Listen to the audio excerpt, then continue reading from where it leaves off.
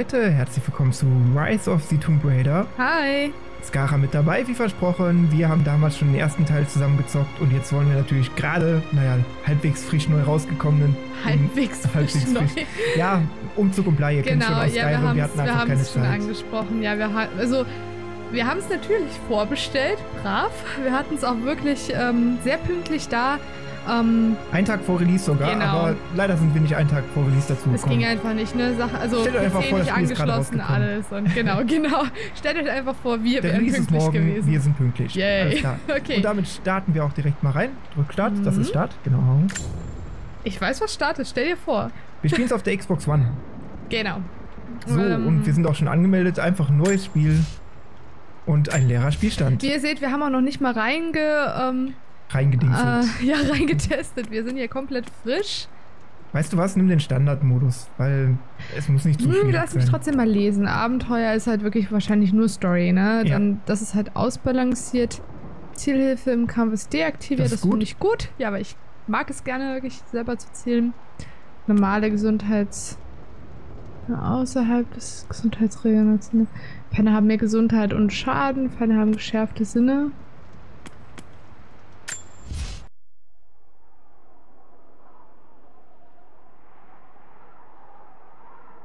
Was lässt jemanden die Grenzen der menschlichen Erfahrung überschreiten? Sich dem Unbekannten stellen. Als Kinder stellen wir die Welt um uns in Frage. Wir lernen, wir akzeptieren. Und dabei verlieren wir die Fähigkeit zu staunen. Aber einige nicht.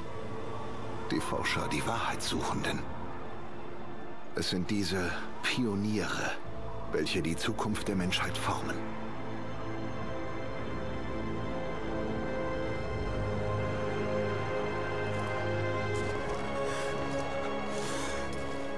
Die anderen, sie hören auf. Kein Geld der Welt wird sie durch diese Berge kriegen. Die verlorene Stadt ist irgendwo da oben. Wird eine höllische Kletterpartie. Ich werde nicht umkehren. Ich weiß. Du solltest hier bleiben, bei ihm. Keine Chance.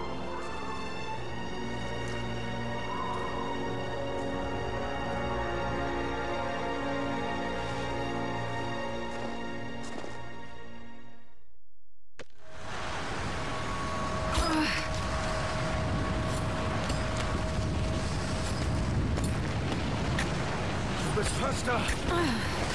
Warte, bis du das siehst, Laura. Nimm meine Hand.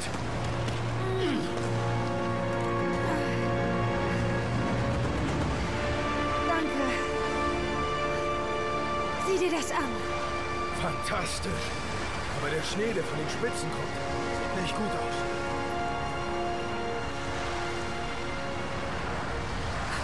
Der Weg führt den Berg rauf. Vom Gipfel aus werden wir einen guten Blick auf das Tal haben. Okay, da fangen wir auch schon an. sein. Ich finde das eigentlich ganz... Also am Anfang habe ich gedacht, oh nein, Untertitel. Ah ja. Wow, das ist schon ganz schön realistisch. Du merkst den Wind wirklich an den Fingern durch die Vibratoren. Vibra Vibratoren. Vibration im, ähm, im Controller. Das war das Gefühl Wort, das dabei. ich gesucht habe. Ja, diese Brumm-Brumm-Dinger im, Vibra ähm, im Vibrator. Gott, nee, jetzt ist... Jetzt ist aber gut. Ah, nein, nicht runterfallen. Nein. Ist okay? Kann man jetzt schon runterfallen? Echt? Weiß ich nicht. Aber ganz ehrlich, ich glaube, du musst am Sound noch mal ein bisschen runterschrauben. Es ist wirklich sehr laut. Ich höre dich schon. Ja. Das beantwortet meine Frage. Es geht schon richtig los. oh je. Laura, bist du in Ordnung? Jonah! Ich bin hier! Ich klettere runter und hol dich. Nein! Das ist zu gefährlich! Ich klettere wieder rauf! Bist du sicher? Bleib einfach da! Okay, wie gesagt, man wird gleich richtig ins Wasser geworfen. Aber wir haben es hier sehr laut. Wir müssen gleich den Sound rüber äh, runterdrehen. Ja, er schon. Und schon verkackt. oh, scheiße. Da bist du so weit gesprungen. Ja, warte, dann mach mal eben, weil sonst verstehe ich dich wirklich nicht. Ja, mal das auf ist super laut. Das haben wir so nicht erwartet. Ähm, da, Vibration, du hast schon richtig. Äh, Musiklautstärke etwas runter, Dialoglautstärke lässt du voll. Etwas runter, da, da, da. Mhm. Ja, das ist so fast schon Ja, viel. ich weiß, das, ging, das geht hier echt Okay. schnell. Guck, du nimmst Ja. es einmal ja, ich sehe hast dann es. schon. Und Soundeffekt Lautstärke gleich laut wie die Musik einfach. Mach ich minimal lauter. So. Ja, ist Weil ich okay. finde, sonst ist es. Mhm. Meistens sind Sounds sonst zu wenig. Okay, dann schauen wir mal. Ja, viel Oh angenehmer. ja, jetzt kann ich den Daniel auch verstehen neben mir. Okay. Äh, zwischenzeitlich fand ich es gerade ein bisschen schwierig zu unterscheiden. Hier, das hatte ich jetzt für so ein, ähm, wie nennt man das? Ähm, diese Action-Events. Ne, diese, Mhm. äh, wo dann A springen stand, wo ich dann dachte, oh, das muss, muss ich jetzt in der nächsten Sekunde klicken. Das ist ein bisschen schwer, das irgendwie äh, zu unterscheiden. Mhm. Ja, okay. Ah, hier. Und hier musstest du jetzt auch ein bisschen gedrückt halten. Das stand jetzt auch nicht dabei. Nur so einmal klicken mit X macht sie noch nichts. Ähm, man muss sich so ein bisschen eingewöhnen, aber es ist schon sehr, man wird schon gleich mit reingeworfen in das Spiel. Sowas mag ich ja. Dann ist man direkt richtig drin. Keine.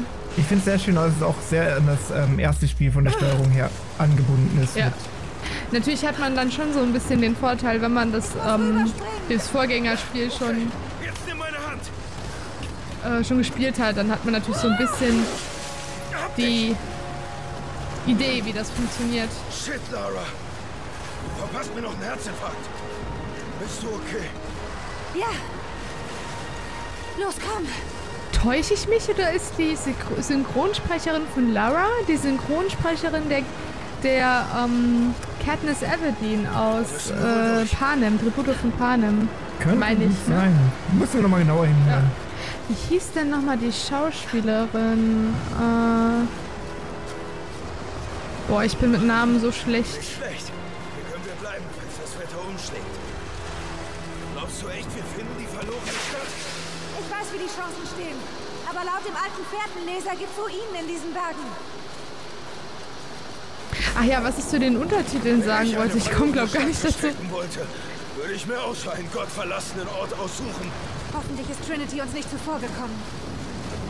Ähm, und zwar am Anfang dachte ich, oh nein, Untertitel, aber eigentlich finde ich das ziemlich cool für Leute, die zum Beispiel nicht gut hören können ähm, oder komplett taub sind, ist das eine super Sache. Also deswegen möchte ich die auch drin lassen.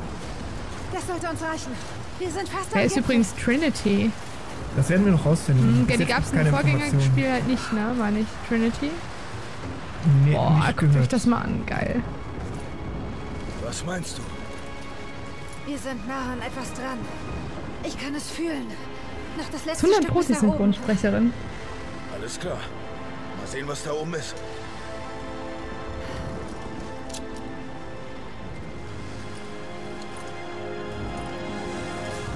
Hat sie das gemerkt, dass er sie jetzt an... Ja, okay.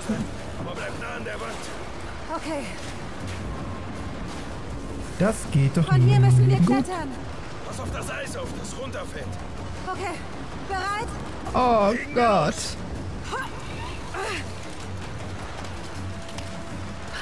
Eieiei. Man muss schon sehr lebensmüde sein für sowas. Hier ist jede Menge lockeres Eis. Gehen wir es langsam und ruhig an. Bleib an mir dran. Muss ich warten, bis der hochkommt? Nee, nee, der schafft das schon. Nach rechts. Oh, Scheiße. Eieiei.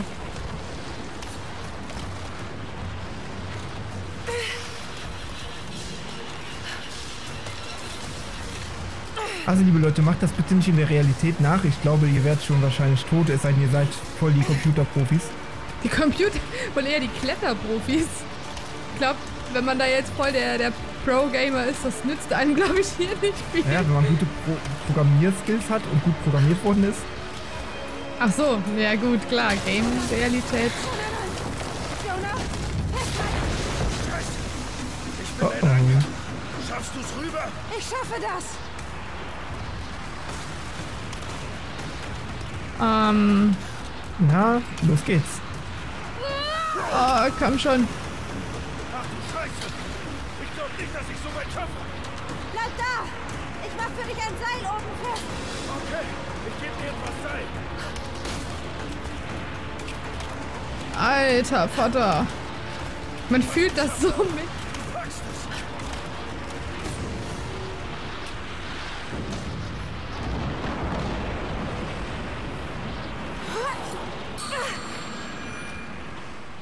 Oh, du hast vergessen zu drücken. Nee, ich, ich hab gedrückt. Hm. Ui. Ich dachte, Jonas fängt sie auf, wenn sie da runterfällt. Das dachte ich eigentlich auch, aber. Hier, X, X, X, X, X. Ah doch. Ja. Hm. Eieiei. Also wie ihr seht, man wird wirklich ins Wasser, ins kalte, ins kalte Wasser im wahrsten Sinne des Wortes. Ins gefrorene Wasser. Boah. Jonah! Wow. Wir haben's geschafft!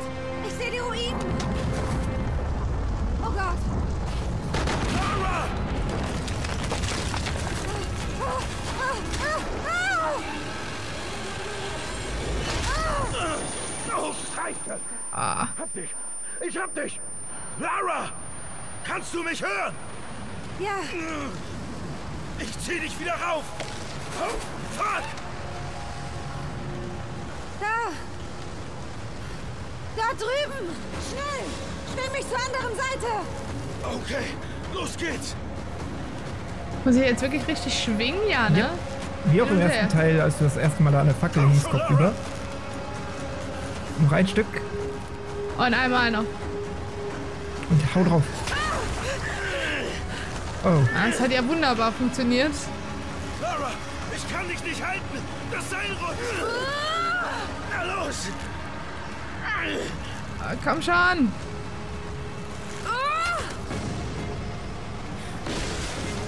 Kletter! Kletter! Oh.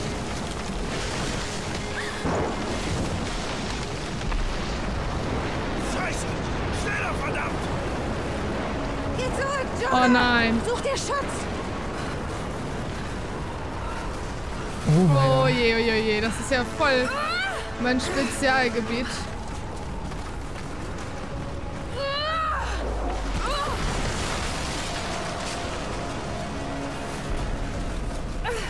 Wow, schnell, schnell, schnell, schnell, schnell, Mädchen.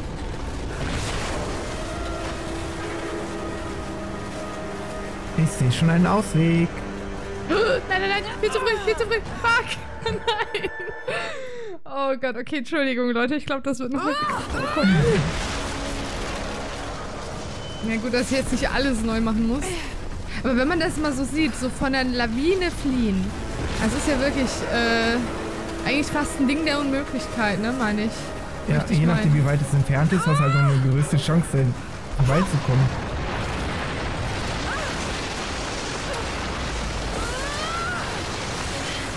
Oh, lecker, lecker, lecker, lecker, lecker. Entschuldigung, ich bin Saarländerin, da sagen wir das so.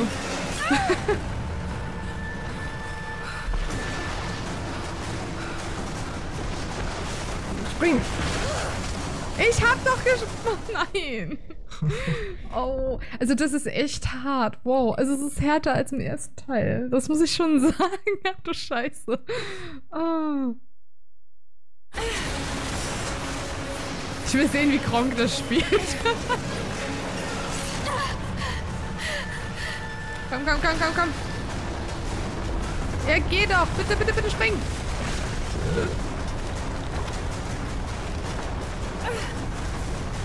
Komm schon. Komm, Mädchen.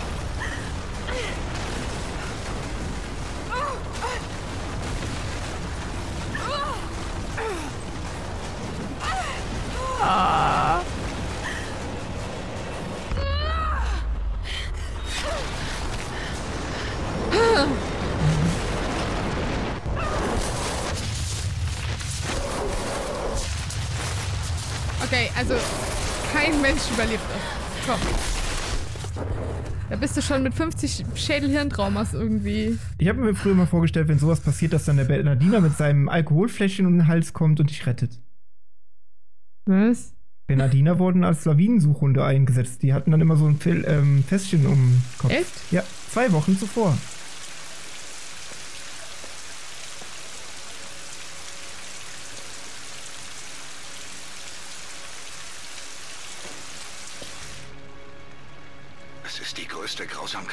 Lebens, dass wir alle ihm viel zu jäh entrissen werden.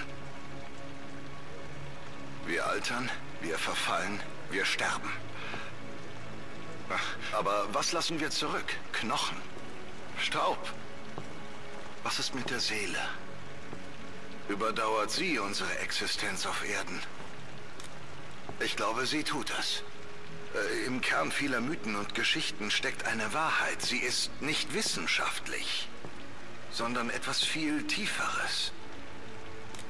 Der Schlüssel zum Erlangen des ewigen Lebens.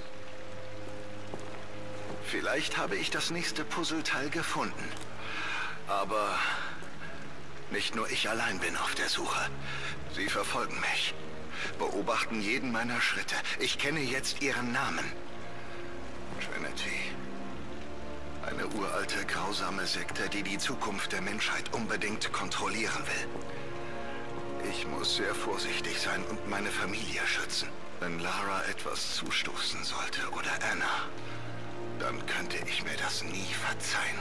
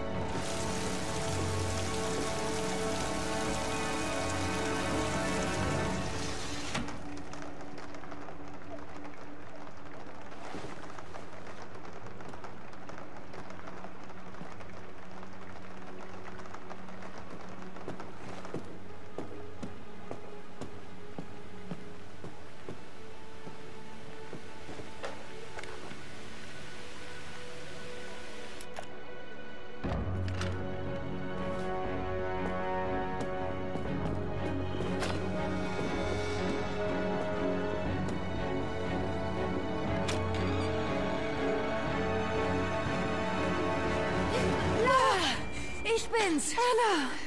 Oh Gott. Das tut mir echt leid. Was machst du hier? Die Boulevardpresse hatte ich mal wieder im Visier. Ich dachte, du brauchst Gesellschaft. Mehr Lügen. Ist dir jemand gefolgt? Verfolgt? Natürlich nicht. Was ist denn los? Ich glaube, ich habe das Grab gefunden. Das kann nicht dein Ernst sein. Der Mythos um den Propheten ist wahr. Dad hatte recht. Lara, dein Vater war... verwirrt. Nein. Er stand kurz vor einer großen Entdeckung. Handfeste Beweise für die unsterbliche Seele. Ich liebte Richard. Hätte er gefragt, hätte ich ihn geheiratet. Aber er war ein gebrochener Mann. Ich will nicht, dass du genauso endest wie er. Aber Anna, er hatte recht. Alle anderen haben sich geirrt. Das Grab ist in Syrien. Syrien? Oh Gott, Lara, nein! Das ist Irrsinn! Krieg dein Leben in den Griff. Geh zurück nach Hause. Du weißt, dass ich nicht zurück kann. Diese Besessenheit ruinierte deinen Vater. Ich habe was gesehen. Etwas, das ich nicht erklären kann. Ich verstehe jetzt, wie Dad sich gefühlt hat. Das sind doch alles Märchen. Nonsens. Bitte, Lara, tu das nicht. Du weißt, wie das endet. Es ist das Einzige, das sich richtig anfühlt. Ich werde das Grab des Propheten finden, Anna.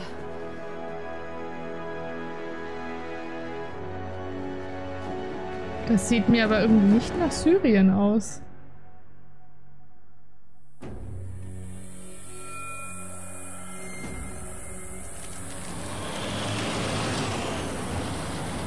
Hey, wir kommen jetzt in ein Kriegsgebiet.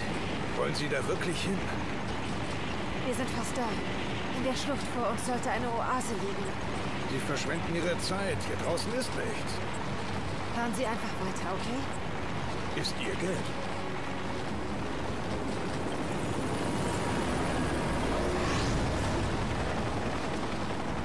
Hier stimmt was nicht. Äh, das ist nur die örtliche Bilanz. Sie haben es jemandem erzählt, oder? Die, die haben besser bezahlt. Sie... Scheiße, die sollten doch nicht auf uns schießen. Bringen Sie uns hier raus! Shit, shit.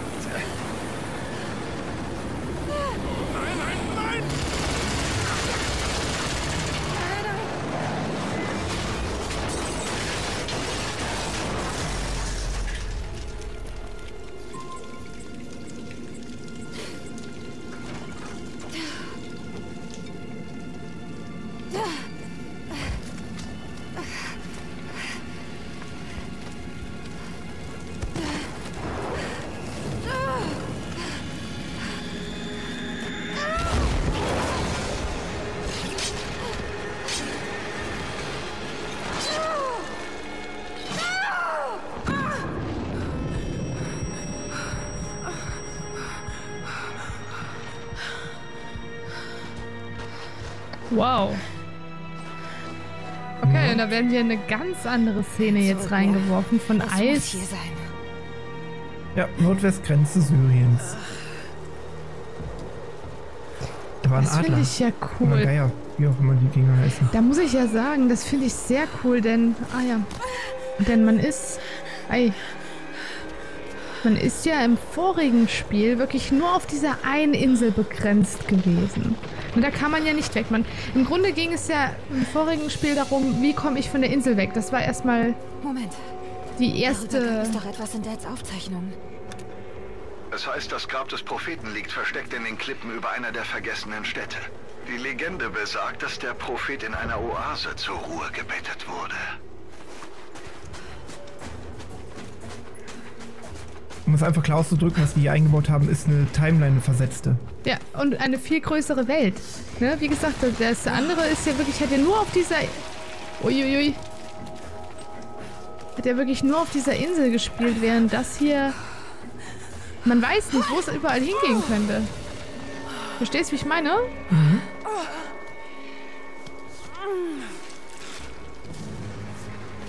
Irgendwas ist hier. Es das wirklich sein?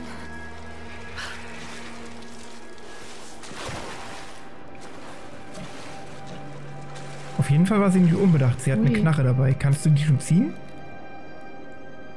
Das war ein Knicklicht. Nee, anscheinend. Ich habe auch jetzt nichts gemacht. Das alt. so. Knicklicht kam von Passt selber. alles zusammen.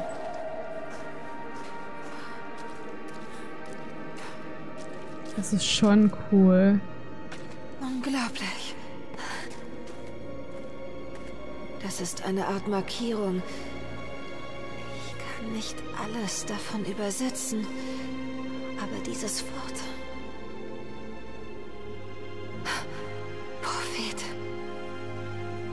Hier ist es. Dad hatte recht.